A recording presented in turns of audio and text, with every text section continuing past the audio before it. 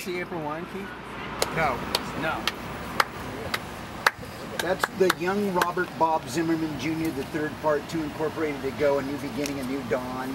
Because at one time he looked like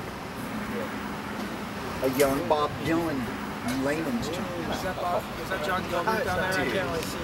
That is John, John Denver the third incorporated. John Denver the Baptist?